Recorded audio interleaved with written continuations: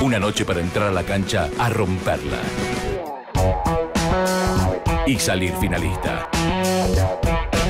Liga de Desarrollo de Básquet. Semifinales este martes desde las 20. En vivo y exclusivo. En Deporte B.